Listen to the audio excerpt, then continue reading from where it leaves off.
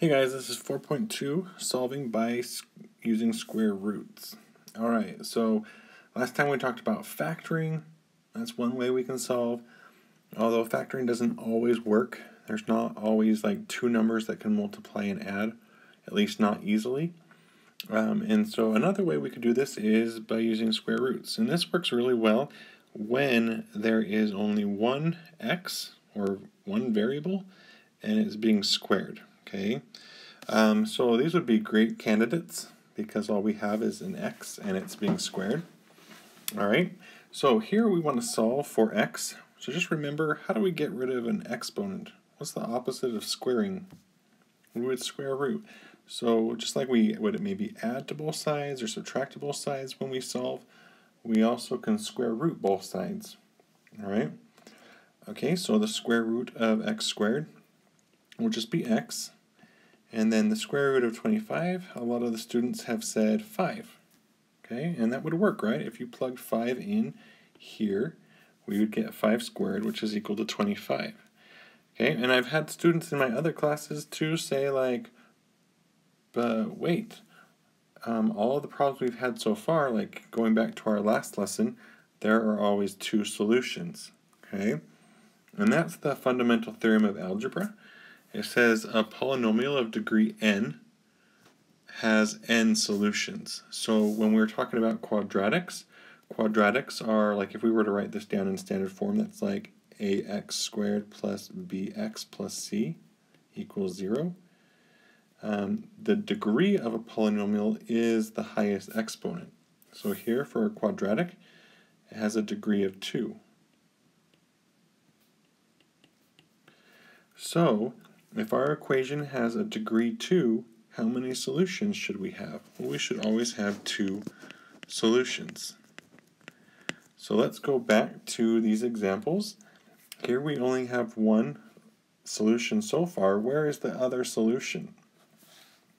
All right. Um, and in the past, I've had students say, ooh, uh, maybe negative 5. Yeah, and that would work, right? If we were to plug negative 5 in here, we'd get negative 5 times negative 5, and that gives you positive 25. So whenever we square root to solve, we need to make sure that we have the positive and the negative root, okay? Oftentimes when we square root things, like if you put this into your calculator, it would say 5. And that's called the principal square root. Um, but there's also um, the other square root is when we have a negative. Okay, so let's give B and C a try. Why don't you pause and give those a try? Um, this is going to include maybe simplifying roots or having some sort of imaginary, and that's okay. So here if we square root and square root, we would get x equals plus or minus the square root of 28.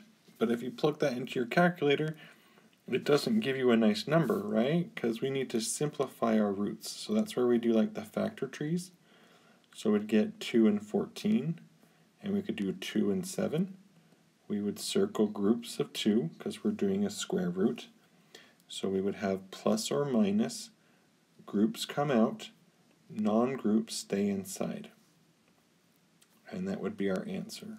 Again, we could also write it uh, two times, write it separate. So we could do 2 square roots of 7 and negative 2 square roots of 7. Those would be the two solutions.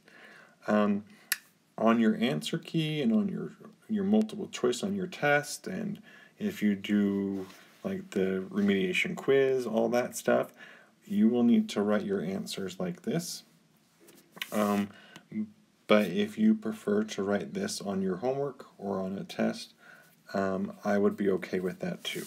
Just make sure you read the instructions, okay? All right, so here's one more. We square root, square root, so we end up getting x equals. Okay, um, now if you remember, whenever we have a negative inside of a root, that will give us an imaginary. So we have plus or minus i square roots of and then we want to maybe see if we can simplify the root. So that could give us like a factor tree could give us 2 and 5. So those would be the, the factors um, or the prime factorization of 10. And again, we can't make a group, so our, our, our, uh, our root can't be simplified. Okay, or at least the number. We can take care of that imaginary, but all right. Okay, so we kind of talked about that we always have two solutions, so you should always keep that in mind. Um, we already talked about this. Um, if there's this is works really well when you have 1x and it's being squared. Okay, and just to remember, a reminder, anytime you use a square root to solve, you're always going to have a plus and a minus. Okay, so on here I've already done some of these problems.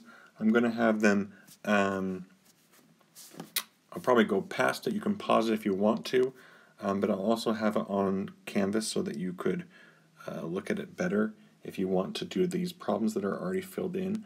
The ones that are circled are the ones that we did in class, and so those are the ones that I would uh, require you to do it. Okay. All right, so here's some problems that we're going to want to solve for x. So when we solve an equation, it doesn't matter what type of equation, we always need to follow order of operations. Okay, so that's, um, if you remember that, we talked about PEMDAS. But when we use PEMDAS, um, PEMDAS in that order is when we're trying to simplify. If we're trying to solve, we need to go the opposite direction. So we would start with adding and subtracting. Um, next we would do any multiplication and division. Then we would take care of any exponents and then we would do what's in the side inside of a parenthesis. Okay, so you can kind of keep that in mind. Um, another way to kind of think of it is is just like you want to move what's least attached to the variable, or I don't know. We kind of had like this idea in class that um, equations are like onions. Okay, they have layers. You just kind of peel them off. And I had students say it's because they're they're they're onions because they stink and they make you cry, and that could be true too. Okay. All right, so here we go. We need to get x by itself. There's no adding or subtracting. So next would be multiplication and division. 5 is being multiplied, so we'll need to do its opposite as we would divide both sides by 5. So we'd get x squared equals 25, and that should look familiar. We did that at the top. So that next thing would be exponents, and here's an exponent. So we would do its opposite is we would square root don't forget the plus and minus. So we'd get plus or minus 5, or again we could write it as 5 comma negative 5. Okay, and that's up to you how you want to write that. All right, here's another example. Again, PEMDAS backwards, so adding and subtracting. Here's adding, so we will subtract both sides. Got to keep it balanced. So we get 6x squared equals negative 12. Next would be multiplication division. Again, this is multiplication, so we will divide its opposite. So x squared equals negative 2. Okay, and then next would be exponents. So we would square root, square root both sides, and we'd get x equals plus or minus. Okay, we want to maybe simplify that root. Again, we have a negative inside of a root, so that gives us an i. And then square root of 2 can't be simplified. Again, we can write it twice. One a positive, one a negative, or you could write it like that. Okay? All right. Um, here is another one. So again, PEMDAS backwards, so adding and subtracting. So we can't do this adding or subtracting because it's in a parenthesis. So that's like the last thing that we'll do. So there's no adding and subtracting out of that parenthesis. So next would be multiplication and division. So here's multiplication. So we'll need to divide. So we get x minus 5 squared equals 4. Okay, next for PEMDAS would be the exponents.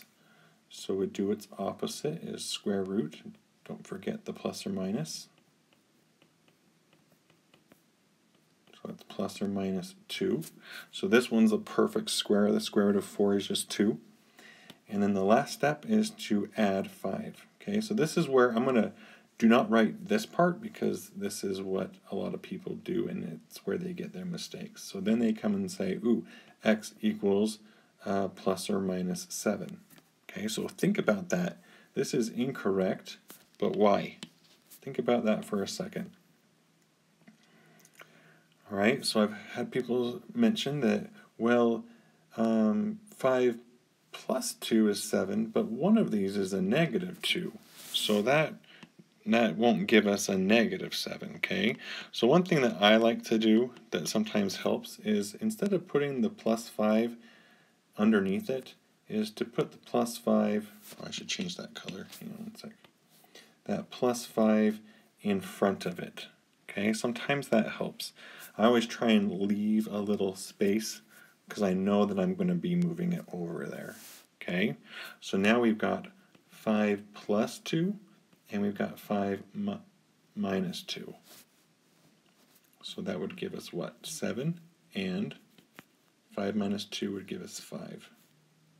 Sorry, 5, uh, 3. Okay, just trying to keep you on your toes. So 7 comma 3. And again, the order of these don't matter. You could do 3 comma 7, 7 comma 2, or 3. Again, this is just a list of solutions. So there's no first or second that you need to do, okay? I guess maybe some teachers could ask you to do smallest to largest or something, I don't know. Okay, so here are just some other examples. Again, you're welcome to pause this if you want to do them and then check them. Um, but we'll also do other problems that are very similar, and you should have all the stuff that you need. Okay, F is pretty much as as scary as that can get. Okay, all right, so let's go to our next page.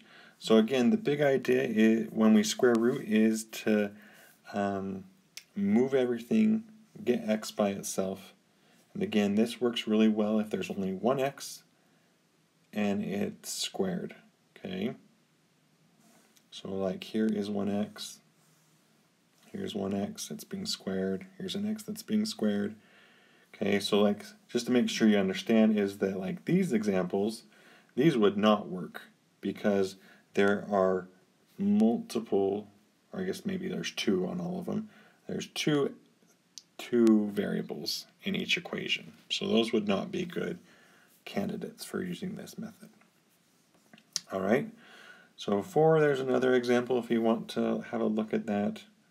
Um, this one's actually pretty good that we should, maybe we should. Okay, so here's an example where one of your solutions is 0 and one is like a number that's not 0. So sometimes that happens, like these two numbers can cancel out, but that's only for one of the solutions, okay?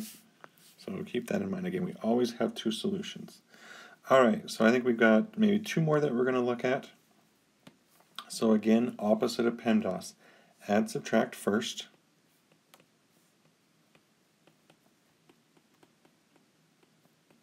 multiply, divide. There's no multiplication or division that we need to work with. Next would be exponents, so we would square root both sides to get rid of that exponent. Don't forget the plus or minus. And here this would probably be a good time as well to um, simplify the root. So we could do 2 and 10, 2 and 5, and then we could take out a group of 2. So 2 square roots of 5. And then the last step, step is what's inside, that was inside the parenthesis. So here, that was that minus 1, so we would add 1. Again, I like to leave a spot there. So that gives us our solutions. We'll get 1 plus 2 square roots of 5 and 1 minus 2 square roots of 5. Again, you could probably leave your answer like that too, as long as it's x equals. Okay?